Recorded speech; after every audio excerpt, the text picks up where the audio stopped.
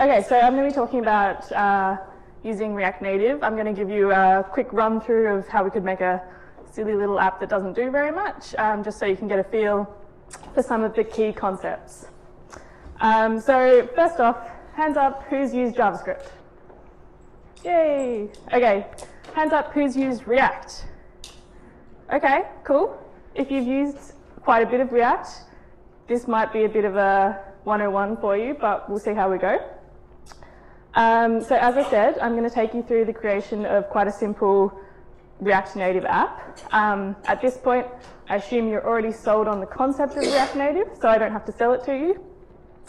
Um, there are a few things I won't touch on, such as uh, navigation, uh, using more complex things like Redux, because um, there are lectures in themselves.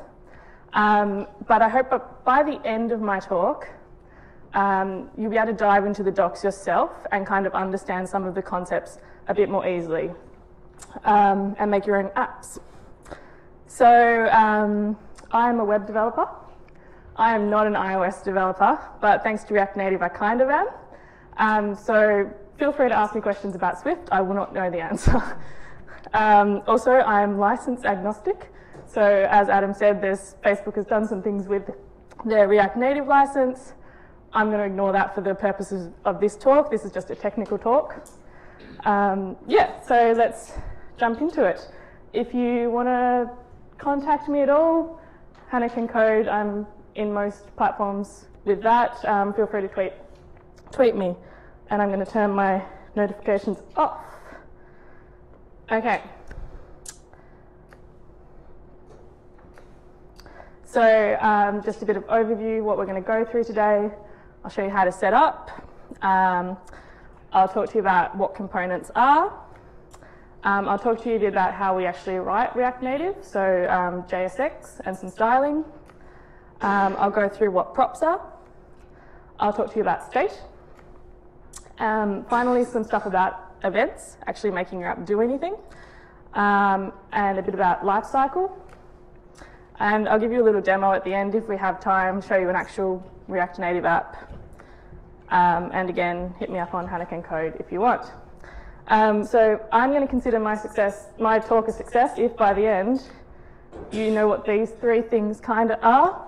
Keep looking the wrong way. Um, so components, props, and state, they're kind of the key takeaways for this.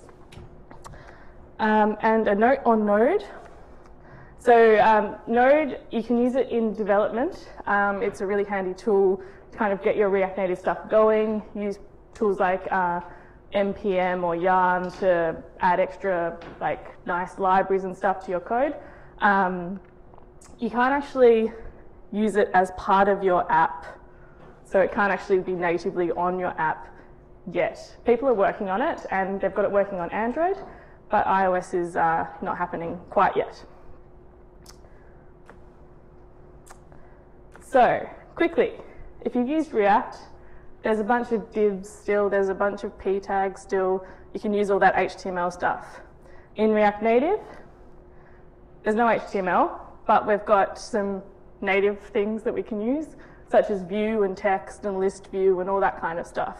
Um, so no HTML, it's all kind of native components. So, getting set up is super easy if you're on a Mac, yay. Um, you just need Homebrew. So basically, first brew install Node, get Node on your computer, and then Watchman. Um, Watchman will watch your files for any changes, and it allows you to do hot reloading. So if you go and change one of your JavaScript files, save it, boom, simulator is going to show exactly what just happened. You don't have to reload, rebuild your entire app. Um, so next, we'll use npm or yarn if that's your flavor um, to install the React Native command line interface. And this allows you to use Terminal to build your React Native things using Node. Um, finally, we've got this handy little command called, once you've got the React Native CLI installed, you can use React Native init, and that will build your kind of boilerplate React Native app so you don't have to do all that stuff with Xcode and it just makes it all for you. If you want an even easier option, there's now a Create React Native app, which kind of adds a bit more stuff to your React Native app if you don't want to mess around with some of the other, if you don't want to decide about config, someone's already done it for you, so you can just go and use that. Um, finally, we'll just move into our app and React Native run iOS. Uh, it's going to, the first time you do it, it's going to take a while, so don't worry. Uh, it's going to go through and it's going to compile your app and it's going to build it and spit it out in the iOS simulator. And it's going to look something like that. So yeah, we have an app. No. okay, so if you actually open up your app in a code editor, um, you're going to see something like this. So um, we've got a bunch of stuff you can ignore, some config stuff, some Babel stuff, um, node modules, Android stuff. You can ignore all that, um, but that's going to get your app actually working in the simulator and on the device when you come to that point. Um, dog and puppy.js are not there initially. We're going to make those. Um, so first we're going to have a look at package.json. So if you're familiar with node development at all, you're probably fairly familiar, familiar with a package.json. Um, basically, it looks like this. It's just a bunch. It's a JSON file. It's just a bunch of config stuff. It tells your um, node what you're gonna, what you depend on. So we've got some um, Babel stuff. We've got some React stuff. We've got some React Native stuff. We've also got some testing things in there and a couple of scripts that mean you can actually start building your app, sorry, um, and testing it. Um, so um, when you, uh, so the great thing about the using React Native is there's a whole community you can lean on who have already built a bunch of UI packages and logic packages that you can just go npm install blah and it'll stick it in your package.json and you can use it. Um, so there's a whole bunch of stuff you can add to that. Um, the Babel stuff is so you can use some more fancy JavaScript if you're up with ES6 and it'll compile it back to old school vanilla JavaScript. Um, so as you're gathering now, it's JavaScript, and I hope after Sal's talk this morning, using JavaScript on your phone is not such a weird concept anymore. Um, so basically, the entry point for our app is going to be an index.js file. So it's going to import React. It's going to import some componenty stuff from React Native. So we're using both React and React Native. Um, and basically just a giant class. So you don't really need to understand this, but basically we're just extending the React Native component class and we're going to stick some stuff on top. Um, everything lives in the render method or your UI is going to live in the render method. Um, and it's just going to return a bunch of stuff and then React Native is going to go off and make an app with it. Um, this you probably don't really need to know about, but at the very bottom of your index file, it's going to say app registry.register component. And this is so Xcode knows where to go in and start doing stuff. So that's all Xcode stuff. I don't understand that. Okay, so the first thing I want you to remember from this talk, components. Uh, so everything in React and React Native is a component. A component is just a small chunk of UI, like a piece of text or an image. So here's our React Native app, um, and we have three text components. Da, da, da. But components can also be made up of other components. So the view component, it acts like a wrapper around our three text components. Uh, so it's a component made up of smaller components. Um, the way I like to think about it is components are like Lego. So the smallest chunk you can get is an individual Lego block, um, but you can use Lego blocks to make a wall of Lego. You can then use that wall of Lego to make a house, or you can stick it with something else and make something completely different. So um, it's up to you what you do with your components, but you can kind of chunk them together and build cool things with these small chunks of UI. So that's the first thing, first thing to remember. Okay, so inside our render method, we don't we do write JavaScript, but we also write something called JSX. JSX looks a bit like this, which looks very similar to HTML. Um, so it's an XML kind of markup language that allows us to use this kind of language within JavaScript. So this is the view component we saw on the simulator. This is what it looks like. Um, we pop some text components inside it. Very similar to HTML, that, HTML from the 90s that you're used to. Um, if we want to use JavaScript inside our JSX, we escape it with the curly braces, and we're good to go for JavaScript. So here, we're accessing a Java object called styles and passing it into the styles parameter of our component. So outside of the curly braces JSX, inside JavaScript. So there's a big debate about whether you should use JavaScript and styles, how you should combine them, how, they should interact. Well, in React Native, you have no choice. Uh, your styles are JavaScript. So they are like CSS, but they are JavaScript. They're not CSS. So we're going to create um, a constant called styles, and we're going to create a new style sheet within that. Style sheet is something that you can import from React Native. So it looks very similar to CSS, but it's JavaScript. So basically we're going to make a container class and we're going to add some flex things in it. We're going to justify our content. Um, there's a big long list you can find on the docs that'll tell you all the like CSS properties that you can use and how they would look in um, React Native. Basically, it's identical except it's camel case. Um, so you know you can make your your style constant, and then uh, you can take chunks of this object and you can feed it down into your components. Say, uh, view, I want you to use the container styles. So,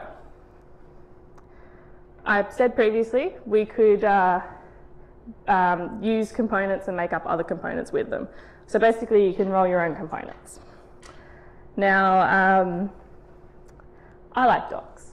So I figured we should make an app about dogs. I don't have a dog, so. Um, imagine that we're going to frequently tell people the name of our dog, Fido. So we're going to make a component. We're going to call it dog.js. Um, and we're going to put that basic boilerplate class stuff in there. Um, so the first thing to note Class dog, capital letter. I don't really know why. I think it's so React Native knows it's a component. Just make a capital letter. Ooh, that's fun. um, so, yeah, name your um, file, capital letter, class, capital letter. Um, and we're just going to pop a text component in there. Yay, we've made our first component. So now we can use that anywhere. Here's what it looks like in the simulator.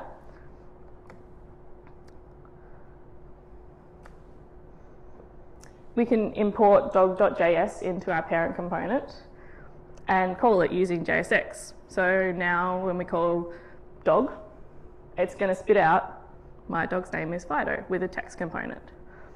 Um, we can call it as many times as we like. What a useful component we've made. Okay, so it's not the most useful component, but um, maybe we could add some data to it. Maybe our dog's names change occasionally. Um, so we can pass down a string, the name of our dog, into our dog component. So each time the dog component is loaded, grabs the string and it changes something about itself. So this is the second thing I need you to remember, props. So, here I'm going to pass down a prop, dog name, with a string. Fido, Terence, I don't know what you want to call your dog. Um, you can pass down whatever you like um, strings, numbers, functions, variables, whatever. Um, this is kind of the JavaScripty stuff. Um, so React Native isn't magical. It doesn't know that that's a dog name yet. So it's still going to show my dog's name is Fido, my dog's name is Fido. Um, we can access that dog name prop that I'm sending down into the component from the component itself. So we want it to do that. It's not going to do that yet. So here's our component again. But this time, instead of just putting my dog's name is Fido, we're going to escape our JSX and we're going to put my dog's name is this dot props dot dog name. Now the this, I'm not going to go into that. There's a lecture in itself, but basically it means we're here. So this is here. Um, this dot props is the props object that we've just sent down from above. And this dot props dot dog name is the dog name chunk of that. So where we've written dog name equals Fido, that's this. So now we can grab it, we can make like, it's kind of like templating, I suppose. And that's going to spit out whatever we, whatever we throw down to it. So again, our curly braces, because we're doing JavaScript. So, so far our component doesn't actually do anything other than display some data that we pass down to it. So this is called a presentational component. So in this case, we don't actually need to write it as a class because we don't need to access any of the other features that a component class gives to us. Um, so we can rewrite it as a function, make it a bit easier. Boom, done. That's all you need. That's the entire thing. Export default, still capital letter dog. We're going to send it down some props. Now we're actually including the props as an argument. So we don't need the this.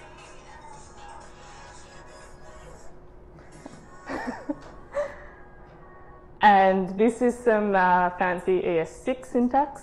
So if you're not up with ES6, this is how you write a function in ES6. So instead of going func blah equals, it's just some shorthand.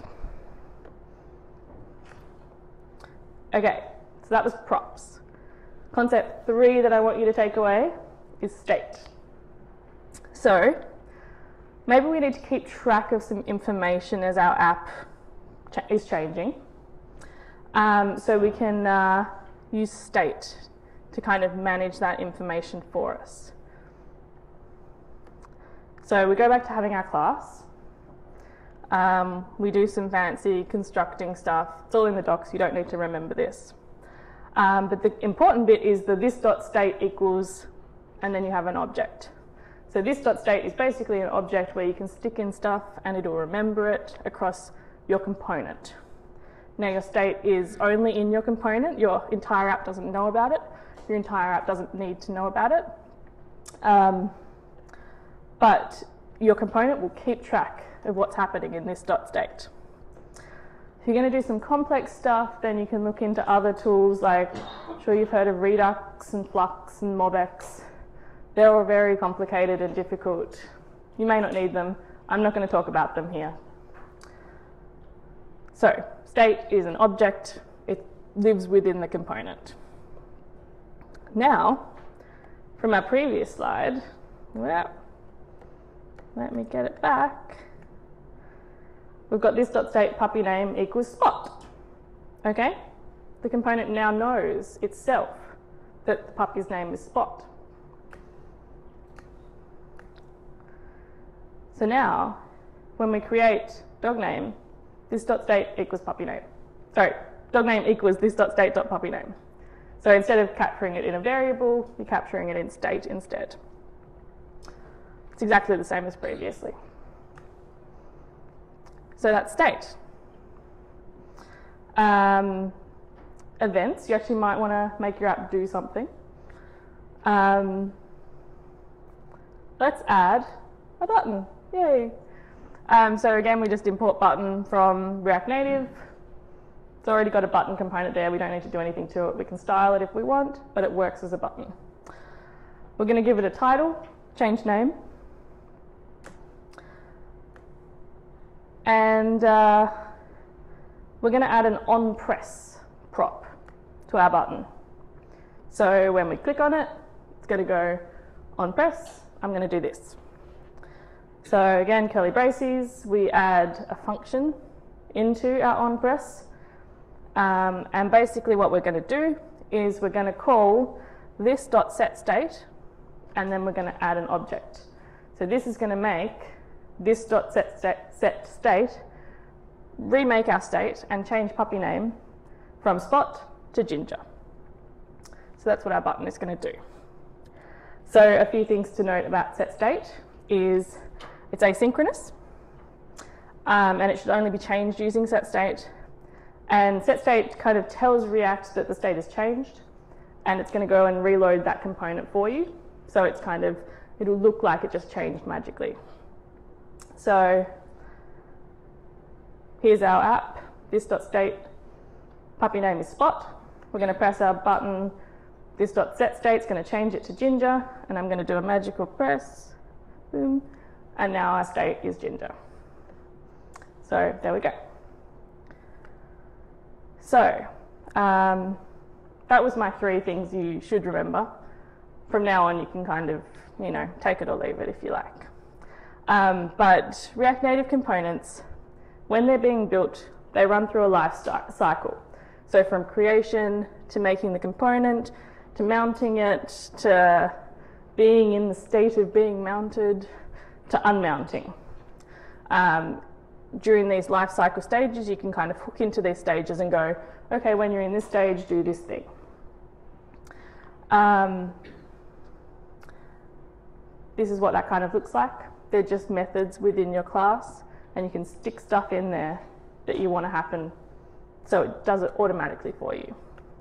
So things like fetch this API so you can go and grab some data or um, set up my state. Or with component will unmount, that means your component's going away. You might want to stop a timer or do some cleanup. So you can kind of, if you've got functions you want to occur at a specific time, you can stick these in those lifecycle hooks. Now, JavaScript is fun. You're going to see this. This is the red screen of death. Uh-huh. um, if you need to go in and find this little bugger, it's going to be somewhere in your code or it's not going to be somewhere in your code. Um, you can debug in your browser.